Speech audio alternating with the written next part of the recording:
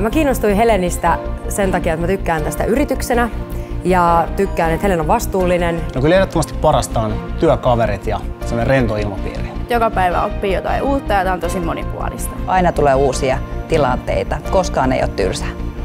Se mikä tästä työstä tekee mielenkiintoisen, niin vaikka me toimitaan tiiminä, niin jokaisen yksilöpanoksella on iso merkitys. Helenille kannattaa tulla teihin, koska tämä on tosi monipuolista ja on mahdollisuus vaikuttaa asioihin. Totta kai se on vielä bonusta, että saa työskennellä yrityksessä, missä työskennellään vihreämmän tulevaisuuden puolesta. Helenille kannattaa tulla töihin, jos kiinnostaa maapallon tulevaisuus ja huippuporukka, kenen kanssa ollaan pelastamassa sitä. Jos sinua kiinnostaa tulevaisuuden energiaratkaisut, niin silloin sinun kannattaa hakea meille töihin.